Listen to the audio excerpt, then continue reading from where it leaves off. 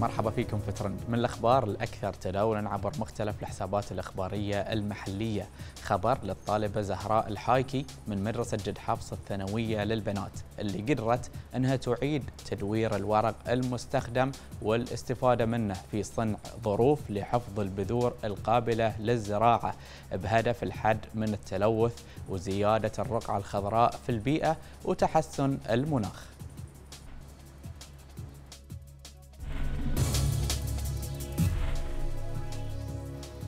مشاهدينا نشر الحساب الرسمي لمجلس الصحة الخليجي عبر منصة انستغرام مقطع فيديو ردا على الإشاعة المتداولة اللي تقول يقل احتياجنا لشرب الماء خلال فصل الشتاء. خلونا نتابع.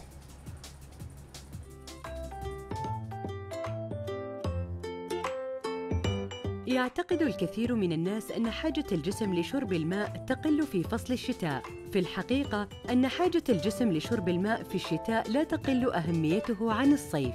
لكن في فصل الصيف حرارة الجو تساعد الشخص على تذكر شرب الماء على عكس ذلك في فصل الشتاء. كما أن الماء يساهم بتنظيم درجة حرارة الجسم. ووظيفته الأساسية هي الترطيب وتنظيم العمليات الحيوية مما يساهم في تنظيم درجة الحرارة عن طريق زيادة تدفق الدم. وقد يشعر البعض في فصل الشتاء بالخمول، الصداع، قلة التركيز، جفاف الفم والجلد. وجميعها مؤشرات تدل على الجفاف واحتياج الجسم للماء. لذلك يجب الحرص على شرب الاحتياج الكافي من الماء في كل وقت. ويمكنك تذكير نفسك من خلال ربط شربك للماء مع سلوك تمارسه خلال يومك. دمتم بصحة وعافية.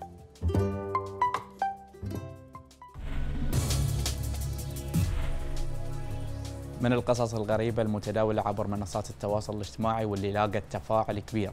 قصة لعملية إنقاذ رجل يبلغ من العمر 47 سنة. ضاع وسط البحر الكاريبي لمدة 24 يوم. الغريب أن الرجل قال عشان أقدر أبقى على قيد الحياة طوال ال 24 يوم كليت الأكل الموجود عندي وهي عبوة من الكاتشب ومسحوق الثوم ومكعبات المرق مخلوطة مع الماء. وقدرت من خلال المنظرة اللي معاي أرسل إشارات بانعكاس الشمس لطائرة شفتها تحلق في السماء.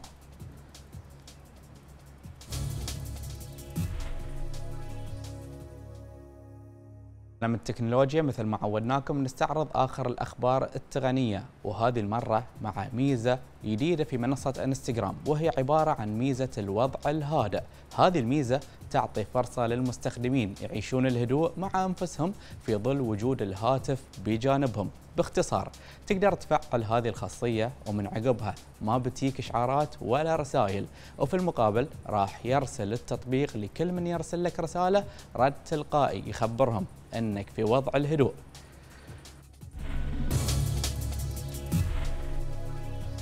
مشاهدينا نشر محمد الرشيدي خبير الأمن السيبراني وصانع المحتوى التقني عبر حسابه الشخصي بمنصة إنستغرام. مقطع فيديو توعوي يوضح فيه طريقة مهمة لأولياء الأمور في تفعيل إعدادات لحمايات لحماية الأطفال من المقاطع غير اللائقة عبر منصة اليوتيوب. خلونا نتابع.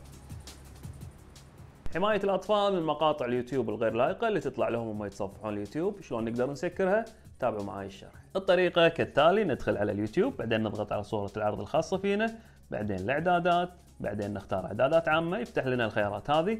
وضع تقييد المحتوى نفعله يساعد وضع تقييد المحتوى على حظر عرض فيديوهات يحتمل أن تكون مخصصة للبالغين. يعني أنت كذي حميت الأطفال من الفيديوهات اللي ما تناسب عمرهم وأنت كولي أمر مسؤول مسؤولية تامة إنك تتابع الأبناء شنو قاعد يلعبون وين يدشون من خلال البرامج اللي يستخدمونها. وأتمنى نشر الفيديو هذا لأكبر عدد من أولياء الأمور لتفعيل هذا الخيار المهم جدا للحفاظ على آه، الأطفال ويكونون في بيئة آمنة في استخدام اليوتيوب إن شاء الله. وبالنهاية أتمنى ما تتهاونون في تفعيل هذه الميزة لانها حماية لك ولأبنائك ومستقبلهم إن شاء الله. مشاهدينا وصلنا معاكم لختام حلقتنا لليوم. وقبل لا نودعكم ندعوكم لمتابعة قنواتنا التفاعلية لمركز الأخبار على مواقع التواصل الاجتماعي الظاهرة أسفل الشاشة وباقي من البرامج اللي تقدمها قنوات وإذاعات البحرين عبر تطبيق BH TV and Radio مع السلامة.